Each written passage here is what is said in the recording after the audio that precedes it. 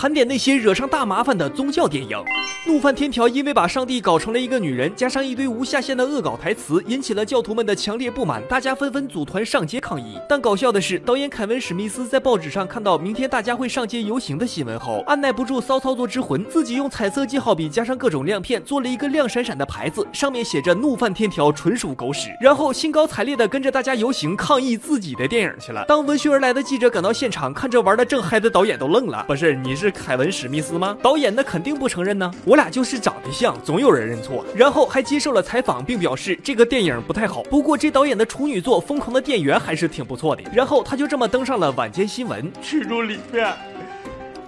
有坏人啊！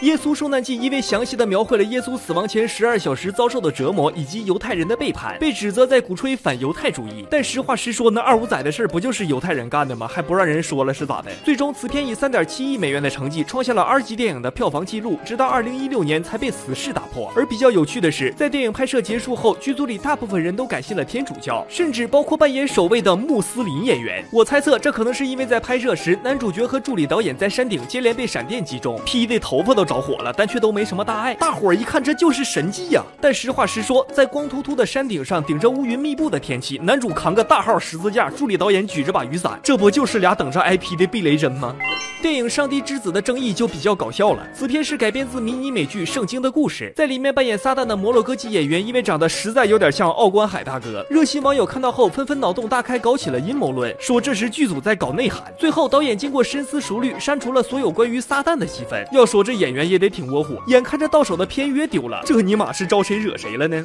基督最后的诱惑，因为把耶稣描绘成了一个怯懦犹豫的普通人，出卖大哥的二五仔犹大也成了正面人物，遭到了教徒们的强烈抵制。话说，在拍这个片之前，导演马丁斯科塞斯心里也含糊，剧本在手里压了整整五年。他的律师看过剧本后也表示，这个本子是真不错，真大胆，但最好还是别拍，容易被教徒们打死。连导演的爸妈知道了这个剧本后，都强烈建议儿子别玩火。但导演经过过深思熟虑，还是指导了这部电影，然后上街游行的，一怒之下烧电影院的，筹资一千万美元要买下所有影片拷贝来销毁的人层出不穷。转播电影首映式的第四频道甚至接到了一千五百五十四起投诉，创下了建台以来的记录。在之后很长一段时间里，导演马丁只要出门就得配上保镖，以防激进人士的报复。